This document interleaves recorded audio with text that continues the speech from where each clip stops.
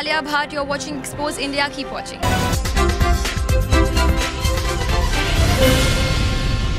जहाँ एक तरफ़ पूरे देश में निपाह जैसी खतरनाक बीमारी के खतरे को लेकर डब्ल्यूएचओ की रिपोर्ट पर पूरे देश में हाई अलर्ट घोषित किया गया है, वहीं इस लाइलाज बीमारी से लोगों को बचाने वाले जिम्मेदार अपनी ज़िम्मेदारी का फ़र्ज़ सलीके से निभाने के बजाय अपनी आँखों पर गद्दारी पट्टी का लबादा ओढ़े नज़र आ रहा है इस बात की तस्दीक करने के लिए अति संवेदनशील ज़िले बहराइच की तस्वीर तमाम जिम्मेदारों की कुंभकर्णी को तोड़ने के लिए स्वयं में काफ़ी है। इस लापरवाही का सारा दरोमदार ज़िले के मुख्य चिकित्सा अधिकारी अरुण कुमार पांडे का माना जा रहा है।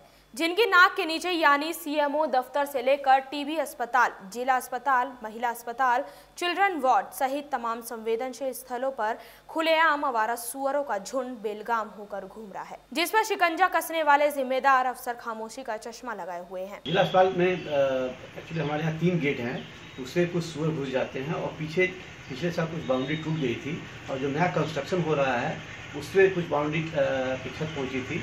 और हम लोग बाउंड्री रिपेयर कराने के लिए जो निर्माण एजेंसी है, उनसे भी बोले हुए हैं।